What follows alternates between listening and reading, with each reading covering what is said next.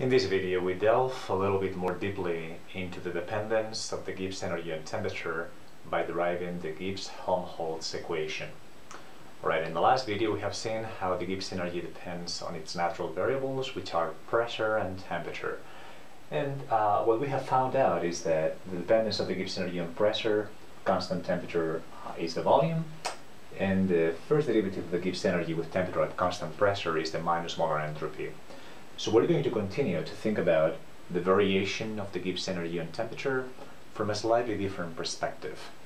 As we will see in the future, uh, rather than examining uh, the Gibbs energy variation with temperature, sometimes it's very useful to examine how the ratio of the Gibbs energy over temperature depends on temperature. Right, so what we're actually trying to see is this, the variation of the ratio of the Gibbs energy over temperature with respect to temperature, obviously at constant pressure. It's not obvious why uh, this is the case, but it will be very clear once we start to think about uh, concepts like equilibrium constants and things like that. It's very common to find uh, a ratio of the Gibbs energy over temperature, and then we want to try to examine how that depends on temperature. Right, so that's what we're going to try to do uh, right here in this video.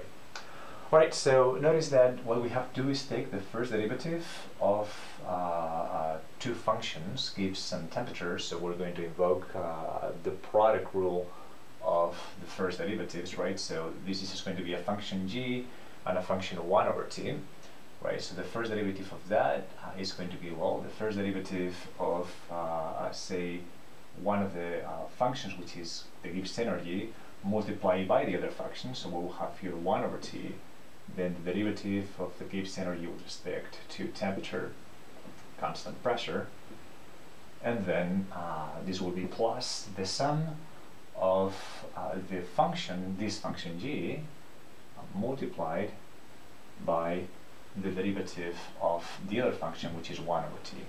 Right, so that would be the derivative of 1 over t with respect to t at constant pressure. Alright, I'm going to be dropping the constant pressure uh, subindexes right here, or subscripts, uh, just for convenience. Uh, this term is uh, fairly straightforward.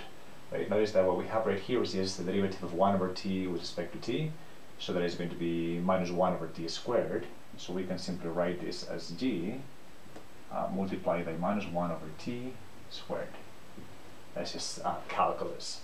And for this one, uh, now we can use our knowledge of the sensitivity of the Gibbs energy and temperature at constant pressure. That's something that we have seen uh, previously.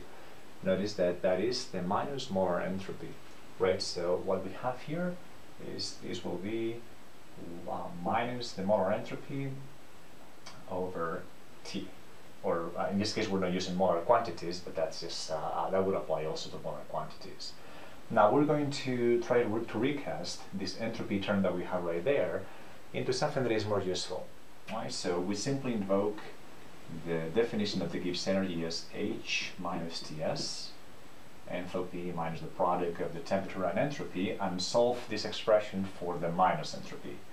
When you solve this expression for the minus entropy, you get that that is going to be equal to Gibbs energy minus enthalpy over the temperature right? So we can come to this uh, particular expression there and say that that is simply going to be equal to uh, the Gibbs energy minus the enthalpy over T, but we, because we had another uh, temperature there, this will be uh, T squared.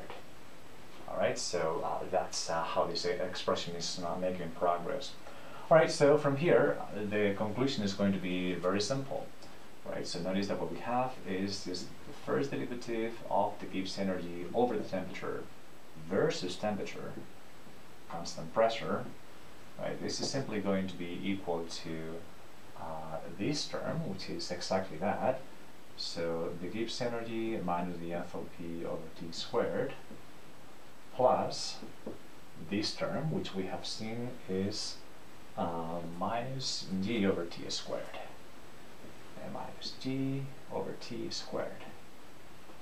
Okay? Alright. So this is now much, a much simpler expression where uh, obviously this uh, d over t squared terms cancelled and the only thing that you have left over is this minus h over t squared.